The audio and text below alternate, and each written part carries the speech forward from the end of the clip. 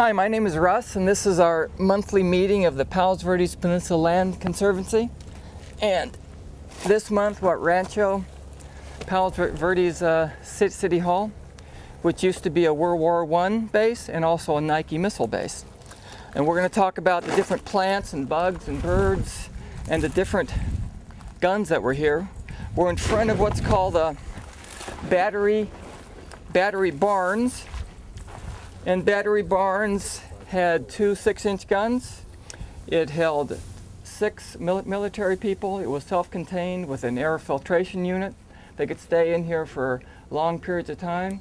And uh, we're going to walk around this and see where the guns were, in were installed. And then we'll walk around down the hill and uh, look at the Nike missile base. And on the way there, we'll look at uh, birds, bugs, insects, history and anything else that you would like to, to see. So let's walk around this and we'll take a look at the uh, where the two six-inch guns were. So we're standing in front of a plant called uh, Isomeris arborea or bladder pod and it's a native plant in the caper family. It has a really neat thick stem uh, trunk and uh, bla uh, the bladder pod uh, isomeris actually means equal parts and arborea means tree-like. And it's a really neat tree-like shrub with a really thick, thick uh, trunk. And it has a wind-swept look because of this constant wind that, that is blowing here. But they're pretty large through here. It's a nice plant. It actually has flowers all year long, off and on. In the caper family, I've never eaten a caper, but uh, I heard I haven't missed much. But uh, there you go, bladder pod, Isomeris arborea. So now we're on top of that battery, battery Harry C. Barnes. And uh, this is the second of the entrances and exits. Right out there, there's a round circle. And that round circle where those two gentlemen are standing is where the two six inch guns were. Those six inch guns held a bullet that was about six inches in diameter and it could be fired about 15 miles out. The, um, the gun had what was called a, a barbette carriage. A barbette carriage is either a wall that the, that, it, that the cannon shoots over, or it's a protection over the cannon itself. Barbette is actually French for Barbara, and Barbara is the uh, patron saint of, of our artil artillerymen. So even artillerymen have patron saints. The battery at White Point and at Fort MacArthur had 14 and 16 inch guns, which means the diameter of the barrel was like 16 inches wide. It would shoot a projectile, a bullet, that was over 2,000 pounds about 25 or 30 miles. You could bomb Catalina. That this one was about 15 miles and 6 inches in diameter, and this is where it was set up. All along the coast here are these small little things called battery, uh, called uh, base end stations or fire control stations. And these stations were small little bunkers into the hillside. Two people would get inside these little base end stations. One would be looking at azimuth. Azimuth is from side to side. The other one would be looking at DPF, which is uh, depression position finder. They'd radio the coordinates to the control center.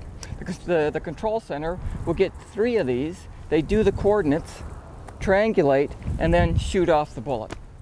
Then there'd be a spotter, and they'd say, this is, uh, looks like 50 feet to the right and about 20 feet short, and then they'd blow off an another round until they actually hit it. So this is actually called Upper Vicente Lighthouse. Hey Bill, how are you? Haven't seen, seen you for, for a while. Uh, Upper Ven, Vicente Lighthouse and uh, I mean uh, Upper Vicente and down below us is Point Vicente, uh, Interpretive Center to the, to the right and uh, that recently opened. It was closed for a number of years because there's so much lead in the soil. And the lead was because it was a, it was a, uh, rifle range for the military down there. So they found a bunch of lead in the soil and it was closed for at least four, four years, I'm assuming. Did they take all the lead out? Uh, they tried, yes. And then straight ahead of us is Point Vicente Lighthouse. Now, Point Vicente Lighthouse was named after, named for uh, a priest that was the priest in Ventura Mission by uh, George Vancouver in 1793. It's uh, open on Saturdays, the second Saturday of the month. We're a little bit late here today, but if you can get here second Saturday of the month, it's a fun place to go. The lighthouse itself is 67 feet from base to top. It's 197 feet above sea level. You can see it for about 20 miles out to a sea. It's still an active Coast Guard station. As you can see to the left, those, those housing, that housing is used for Coast Guard uh, officers, which is a kind of nice, nice uh, duty. The lighthouse itself was built in 26, 1926, and in 1939, the United States Coast Guard Service took over the lighthouse service. In 1973, 74, it was automated. It's been automated ever, ever since.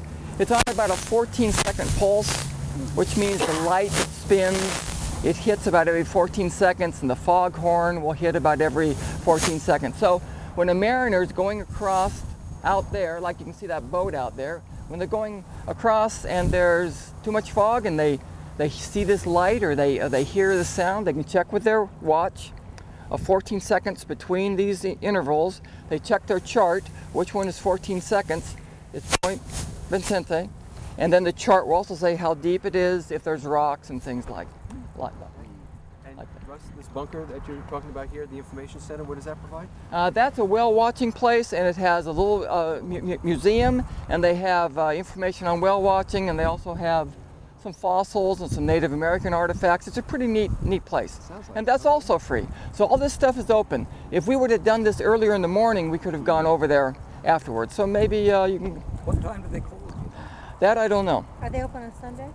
Yeah, the interpretive center, I'm assuming they are. Right below us is a native cactus. We have three different kinds of cactus around here. We have, um, they're all called, Opuntia is the genus, and there's Oricola, littoralis, and prolifera. Now, as you look down, this one right in, in front of us, you see a really round pad. See how round those pads are? That means it's Opuntia oricola. It has a round pad and kind of a yellowish spine. The one kind of next to it and closer is much more of a beaver tail shape.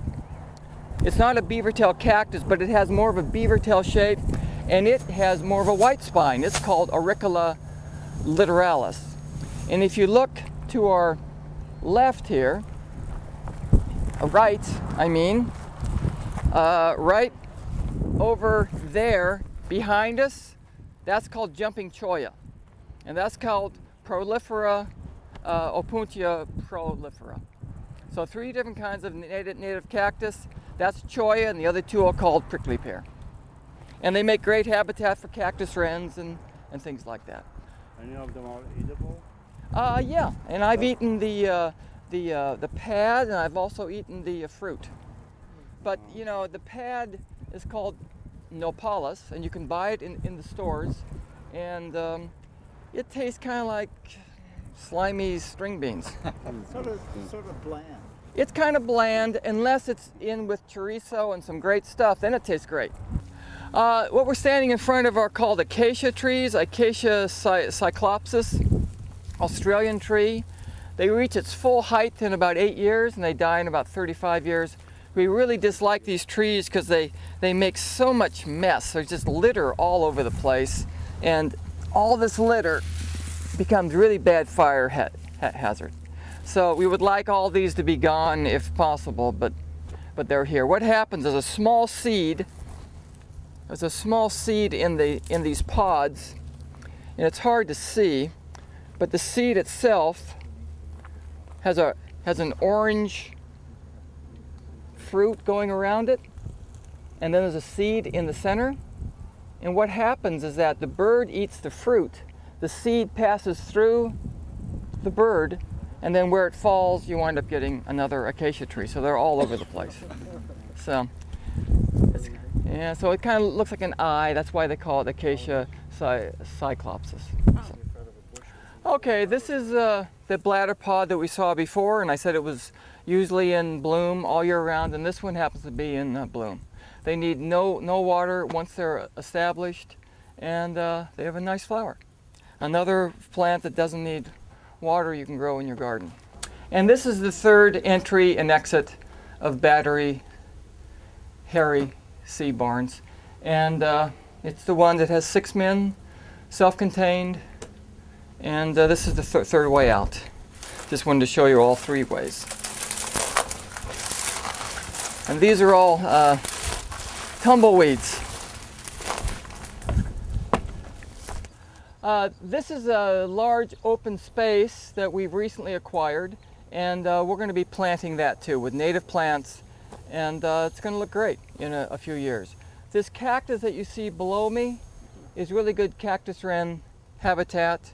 Uh, gnat catchers, I mean, it's a, it's a really nice habitat, so we try to keep it the way it is. We don't bring a lot of people uh, walking through it or anything because it would, it would damage it.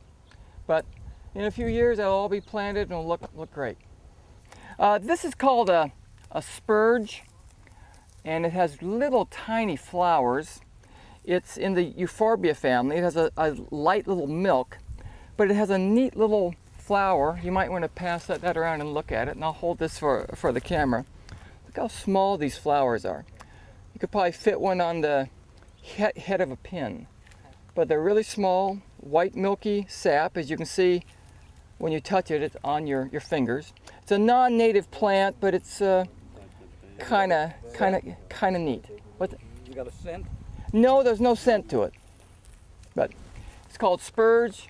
It's in the Euphorbia family. Euphorbia family is a real large uh, group of plants. Uh, in Charles Hogue's book, Insects of the LA Basin, he talks about how trapdoor spiders becoming less and less common because they, they are on rolling hills, western exposure with a lot of sun, and in short tufts of grass. And we like the same thing. We like these rolling hills with views with sun exposure. So the trapdoor spider is getting less and less. It's called Bothriel certum californicum, and this is a trapdoor spider right right here. And you can see its its door right there. It's like a large D, It's like a very large la- large D.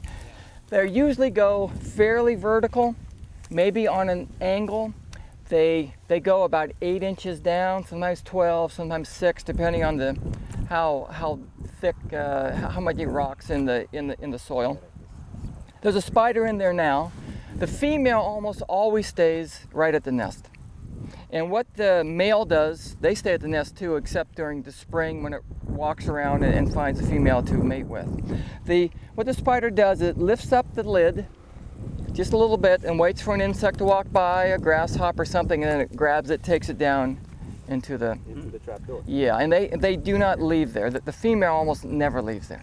Then the female mates with the male in the spring, and it, it it lays its eggs and it stays with its young over winter. And then by the next spring, when it's ready to mate again, the young go out, try to find their own area. Again, most of them get get eaten. You know, 99% of all these little in- insects get get eaten. The uh, trapdoor spider is probably a little bigger. The body is a little bigger than my finger. It has very thick, short legs, and it digs this hole with these two anterior fang-like projections, and it has these little digging spines on its front legs. So it's three quarters of an inch round, about eight inches deep, filled with silk, silk top, fits perfectly, and they call it a cork nest because it fits just like a cork in a bottle. It's kind of like when you carve a pumpkin, how you bevel the pumpkin lid. That's how this is.